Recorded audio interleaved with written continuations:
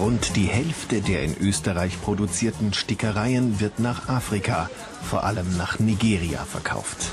Im vergangenen Jahr wurden an die 300 Tonnen in den bevölkerungsreichsten Staat Afrikas exportiert. Das entspricht einem Warenwert von 30 Millionen Euro. In keinem anderen Land ist ein österreichisches Produkt so stark vertreten wie Stickereien in Nigeria.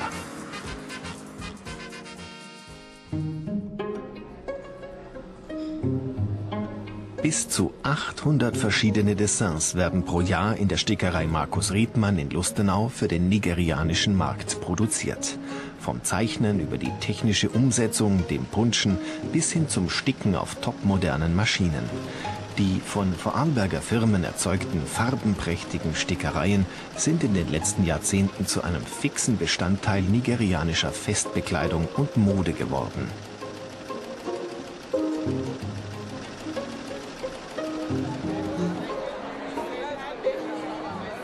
Traditionell gekleidete Frauen und Männer sind elegante Erscheinungen. Wer teure Stickereien trägt, hebt sich von anderen ab und drückt Status und Prestige aus.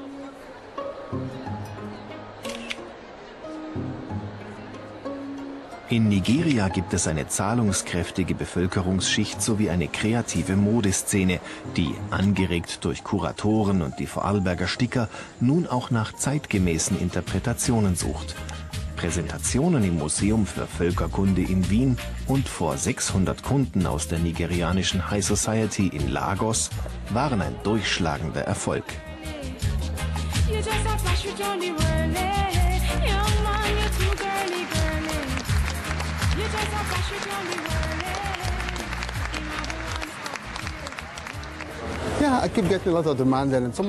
Es herrscht eine große Nachfrage. Die Leute lieben die Stickereien und den Stil. Einige Modelle wurden bereits nachbestellt.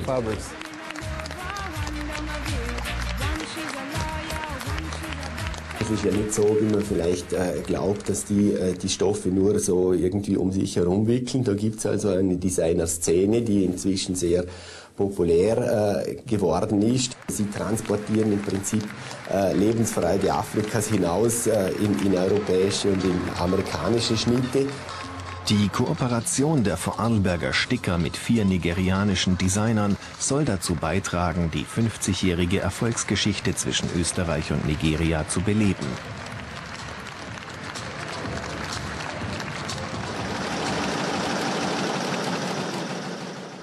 Die Wirtschaftskrise und die Abwertung der nigerianischen Währung sowie die starke Konkurrenz, insbesondere aus China, die den Markt mit Billigprodukten überschwemmt, haben den Stickern in den letzten Jahren zugesetzt.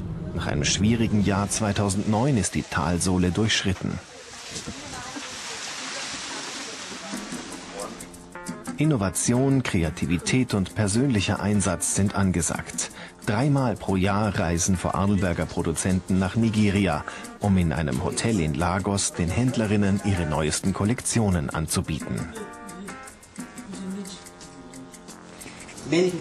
Es ist einfach für uns. Viele können herkommen und direkt beim Erzeuger einkaufen.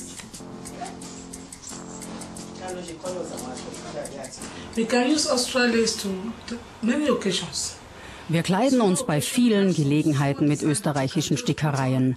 Bei kleineren Anlässen kann man ein schlichtes Design wählen und ist trotzdem gut angezogen. Bei größeren Anlässen tragen wir 400 bis 700 Dollar teure Kleider. Das ist dann Geschmackssache. Das Zentrum des Stickereihandels in Lagos ist der Balogun-Markt. Die Lustenauerin Heidi Hollenstein lebt mehrere Monate im Jahr in Nigeria, um Stickereien für die Firma Star Textil zu vertreiben.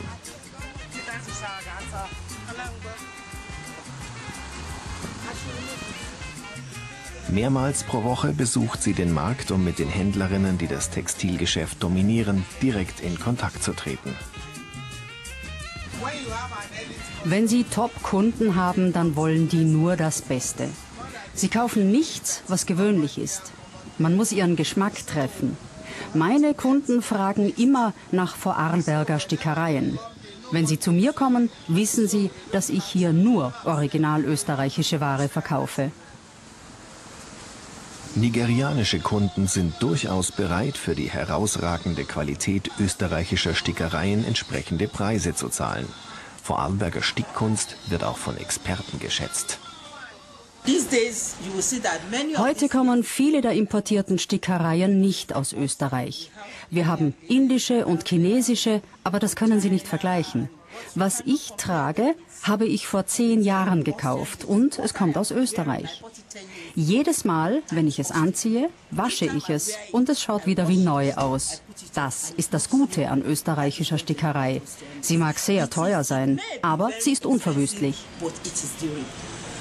In der österreichischen Außenhandelsstelle in Lagos wird daran gearbeitet, Vorarlberger Stickereien als Qualitätsmarke in der nigerianischen Gesellschaft neu zu positionieren. Das Modeevent mit Stickereien aus Österreich war ein wichtiger Schritt. Mit einem weltweit geschützten Sicherheitslabel soll der Produktpiraterie entgegengewirkt werden. Jetzt natürlich mit diesem neuen Sicherheitsetikett, äh, was seit Jahren entwickelt wurde. Das ist ein, äh, ja, ein, ein komplexes Hologramm, das schon bei der Färbung der Stoffe eingearbeitet wird. Und das wird jetzt natürlich äh, jedem Nigerianer, der in, ein, in den Markt geht und in ein Geschäft hineingeht, sofort zu erkennen geben, dass dieses Bündel, das er kauft, österreichische Stickerei ist. In der Außenhandelsstelle arbeitet auch eine Österreicherin, die mit einem nigerianischen Regisseur und Filmemacher verheiratet ist. Sie zählt zu den Kundinnen der Lustenauer Sticker und vereint in ihren Modellen afrikanische Stoffe mit Vorarlberger Stickereien. Was mich sehr fasziniert hat, und das haben wir auch bei unserer Hochzeit zum Beispiel umgesetzt, ist die Tatsache, dass in Österreich die Leute gerne Tracht tragen und hier in Nigeria die Leute auch gerne Tracht tragen. Also was wir als Familie immer versuchen irgendwo zu, zu finden, sind ähm, die Parallelen. Die Trachten schauen unterschiedlich aus, sind aus unterschiedlichen Stoffen, werden zu verschiedenen Anlässen getragen. Aber es gibt eben in beiden Kulturen diesen ganz starken Aspekt, dass man sagt, man trägt Tracht. Nicht nur Österreicher sind in Lagos präsent. Umgekehrt reisen viele Nigerianer, darunter auch Modeschöpfer, nach Vorarlberg, um direkt in den Stickereien einzukaufen. Seit 30 Jahren chauffiert Traudel Bösch die meist weiblichen Kundschaften von den Flughäfen zu den Produzenten. Hi. Ihr spezielles, auf die Bedürfnisse der Passagiere zugeschnittenes Service wird geschätzt. Ja, da muss man alles tun. Da ist man wie, darum sagen alle Mama böse zu mir, weil da muss man gerne tun, wenn sie in Not sind, oder muss man ihnen helfen wenn sie kein Geld fürs Übergepäck liehen. Es gibt einen Anruf, aber zuerst viermal, ob sie überhaupt zahlen den. Ja, es gibt ja alle dass man da erlebt. Ne?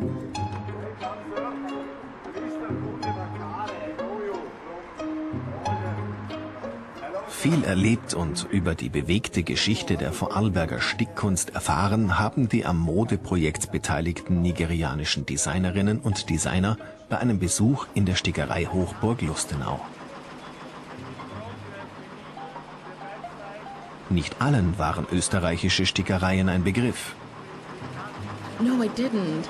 Nein, ich kannte sie nicht. Um ehrlich zu sein, es ist ziemlich ignorant von mir. Ich dachte, Stickereien kommen aus der Schweiz. Aber gerade habe ich gesehen, wie nahe die Grenze ist. Ausgehend von den Anfängen in der Schweiz werden seit Ende des 19. Jahrhunderts industrielle Stickereien in Vorarlberger Betrieben hergestellt. Die erste Stickereifabrik wurde 1875 in Lustenau gegründet. Danach ging es, abgesehen von den Kriegsjahren, über 100 Jahre stetig bergauf.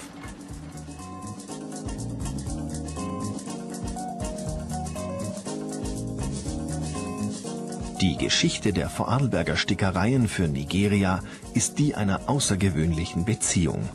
Die globalen Verflechtungen und Prozesse zeigt eine in österreichisch-nigerianischer Koproduktion erarbeitete Ausstellung auf.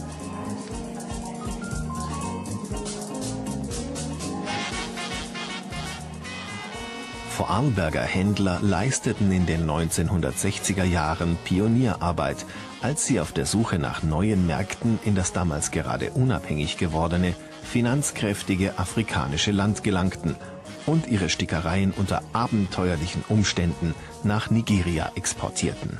Dort waren sie aufgrund ihrer Ähnlichkeit zu traditionellen Stoffen schnell beliebt. Der Unterschied äh, war dann, dass die äh, Vorarlberger direkt auf den Markt gegangen sind und äh, in Austausch mit den Marktfrauen getreten sind. Ja, und sich in erster Zeit dann Großimporteure und Importeurinnen herausgebildet haben, mit denen man richtig gehend zusammengearbeitet hat und die dann den entscheidenden Input gebracht haben. Und diese, diese Nähe auch praktisch zum Konsumenten, die war dann auch entscheidend und der Marktvorteil der Vorarlberger.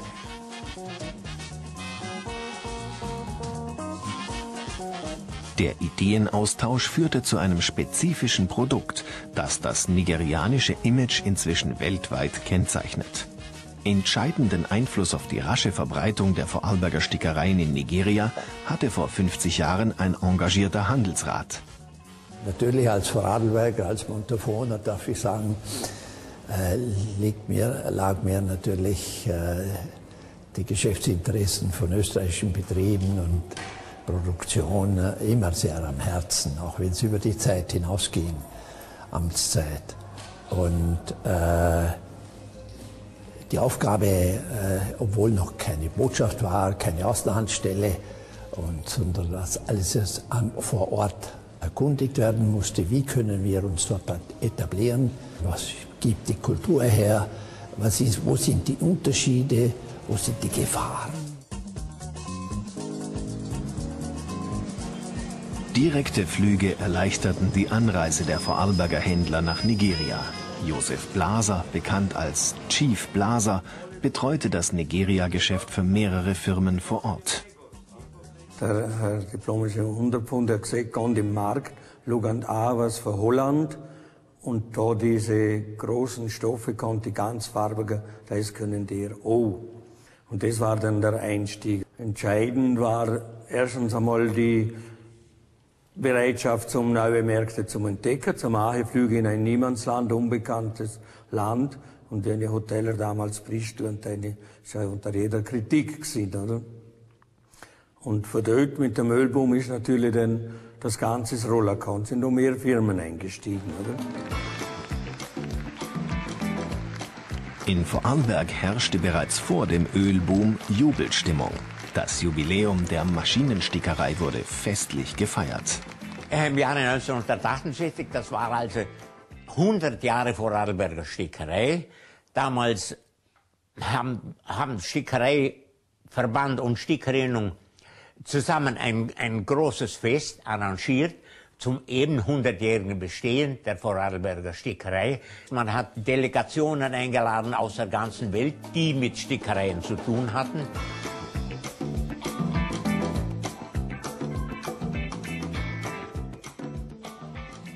In Lagos erlangte Stickereimode unterdessen eine enorme Präsenz.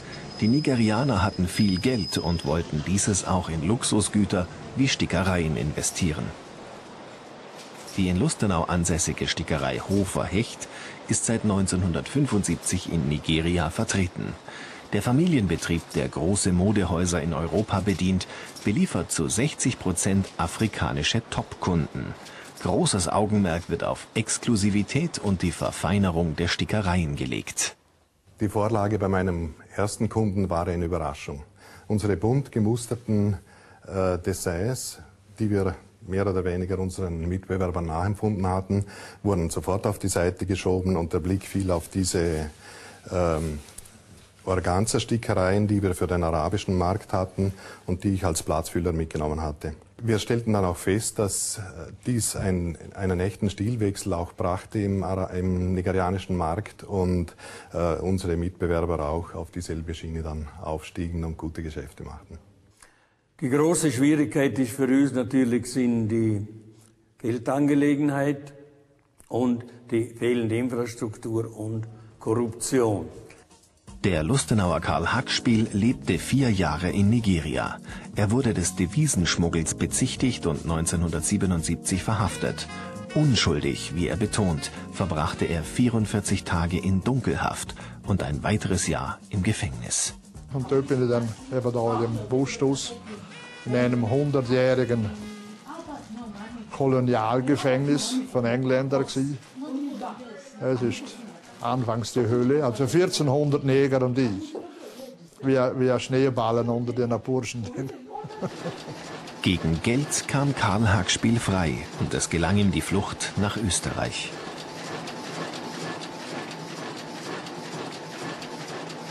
Dann kam noch das einmal im Jahre 77, als Nigeria schon ziemlich im Schwung war,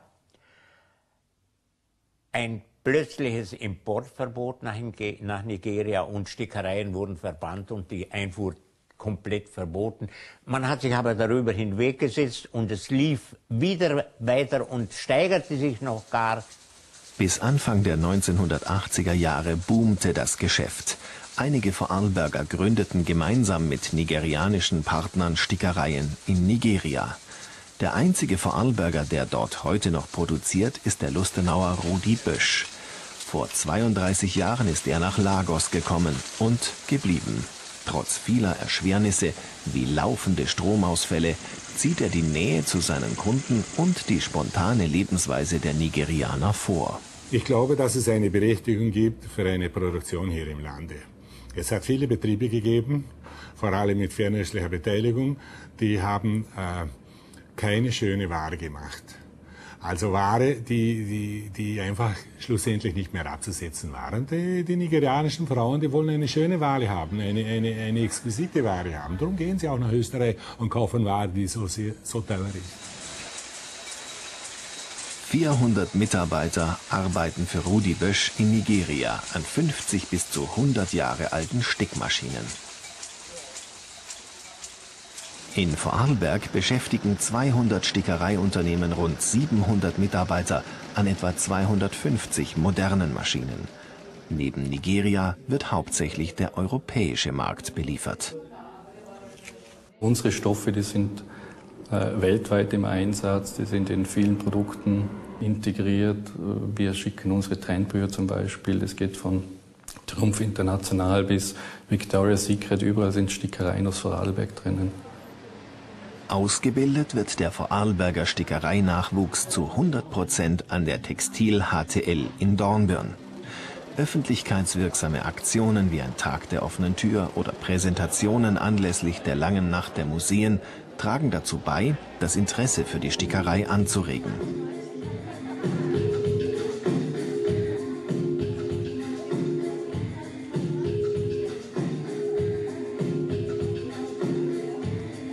Das Stickereimuseum in Lustenau ist auch für zeitgenössische Kunst offen. Da ist die Idee entstanden, dass ich eben Wörter auf Stoff sticken lasse bei der Firma Riedmann ähm, und mit diesem bestickten Stoff sozusagen das, das was äh, normalerweise im Museum darge also dargeboten wird, gezeigt wird, ähm, verhülle, um es eigentlich präsenter zu machen. Also das Verhüllen, um den, um den Fokus auf den Inhalt zu richten. Im Zentrum der Aktivitäten der Vorarlberger Stickereiwirtschaft steht die Jugend. Beim Lehrlingsball der Vorarlberger Industrie im Bregenzer Festspielhaus tanzten Lehrlinge die Polonaise in speziell für den festlichen Anlass designten Kleidern mit Stickereien. Ich arbeite eigentlich fast nur mit Stickereien. Sehr viel, jetzt auch bei den jungen Damen. Immer wieder. Also ich, ich kombiniere es gerne mit normalen Stoffen und Stickerei. Entweder beim Bustier oder irgendein Accessoire, zum Beispiel eine Tasche oder irgendwie ein schönes Armband draus machen. Einfach nur ein Detail mit einer Stickerei, das kommt eigentlich immer sehr gut an.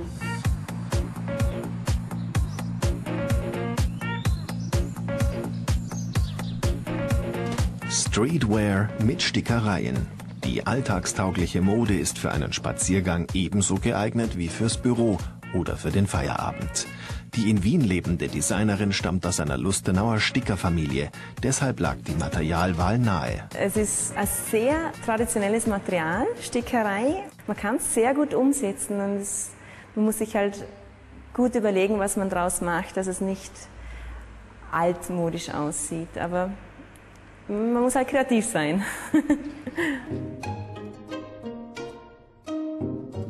Daniela Hofer lässt sich zu ihren außergewöhnlichen Kreationen durch hochwertige Stickereien inspirieren, die sie mit Stoffen und Leder kombiniert.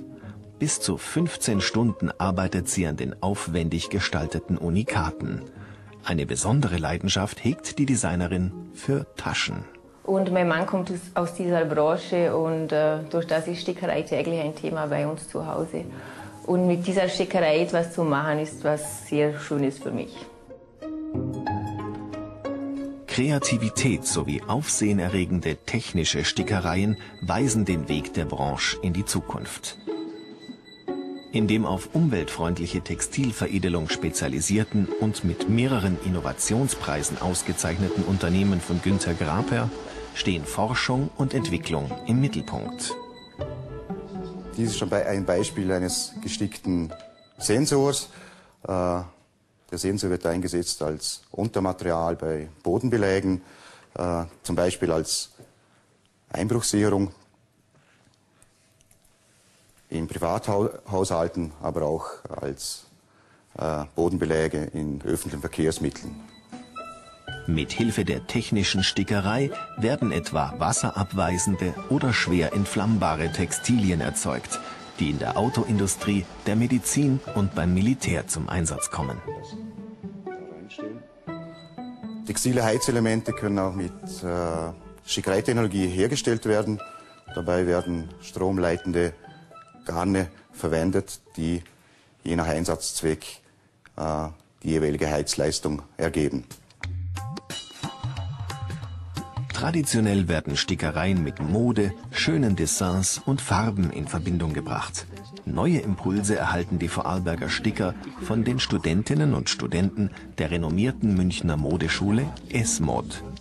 Seit fünf Jahren entwerfen die angehenden Designer ausgefallene Kreationen für die Modeschau des Stickerballs. Unter dem Motto Fairy Tales and Fashion vereinen die aktuellen Entwürfe Stickereien und Tüll.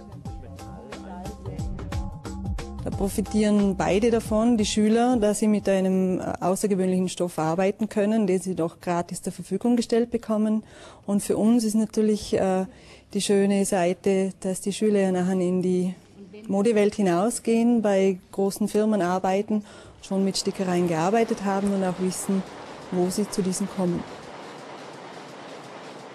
Für mich war es was Neues, fand aber die Herausforderung ziemlich gut. Also sich mit einem komplett anderen Material, weiß, was man halt beachten muss wegen Pailletten, wie man das ausschneidet.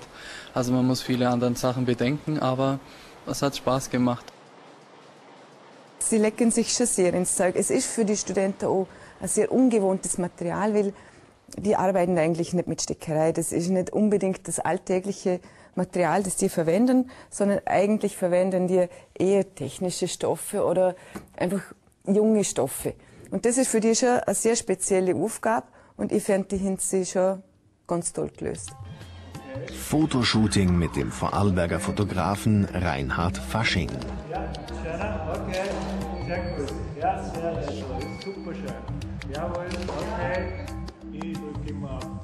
es ist eine sehr schöne Kooperation, dadurch, dass die Studenten nicht das Gefühl haben, sie machen nur alles hier am Tisch, äh, sondern es muss auch mal gezeigt werden. Es muss auf den Laufsteg, es wird für äh, Reklame verwendet, es wird für Zeitschriften angefertigt.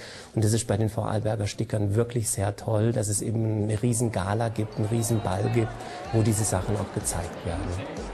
Und dann der große Augenblick. Die von der Jury ausgewählten 60 Haute Couture Modelle aus Vorarlberger Stickereien werden beim jährlichen Highlight der Szene, dem Stickerball in Lustenau, präsentiert.